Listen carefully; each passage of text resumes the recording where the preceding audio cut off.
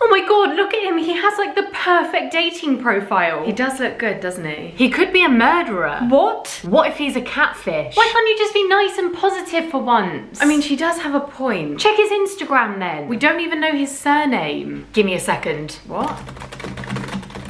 I'm in. In where? What does he do for work? It says he works in finance. I found his LinkedIn. His surname's Rogers. Wait, I don't know if we should be looking at his. Can we check his Instagram now? It's private. What is he hiding? I found his auntie on Facebook. What? How? His sister lives in Australia. How are you? Ooh, his mum volunteers at a local owl sanctuary. Show me his mum. I need to see the gene pool. Looks like his dad had a mole removed. Go on, Dad. I found his address. I'm sorry, what? I'm on Street View. Does it look child friendly? I don't think he recycles. Stop! I just wanted to know if he was a real person. I didn't want to dig up his entire family history and find out where he bloody lived. I found his ex-girlfriend. Show me now.